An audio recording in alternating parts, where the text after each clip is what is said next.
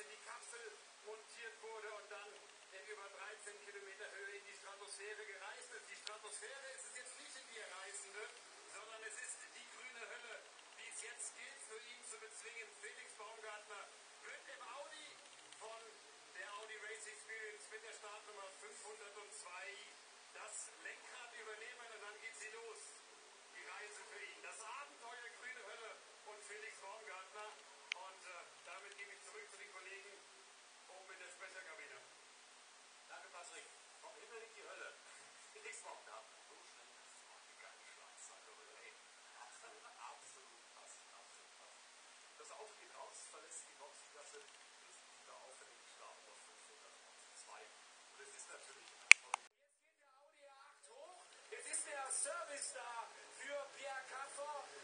Baumgartner wird abgeschnallt. Das Auto jetzt wieder in Position, in äh, Sprungrichtung äh, geschoben.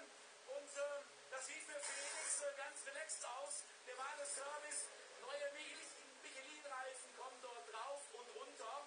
Pierre Kaffer wird angeschnallt und Felix Baumgartner äh, der, lassen wir mal den Helm abschnallen.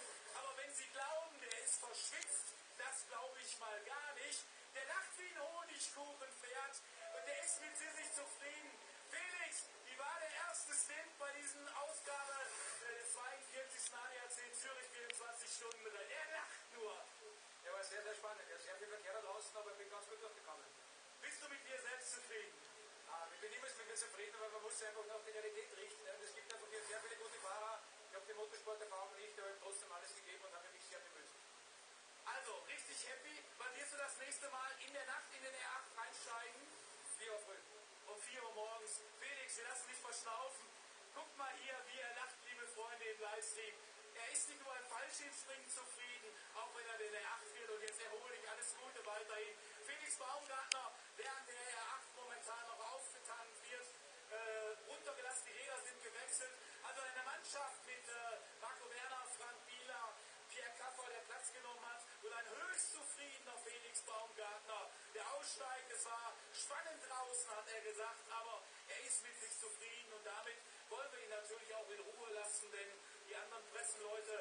Shannon, Richtung Felix Baumgartner, Pierre Kaffer,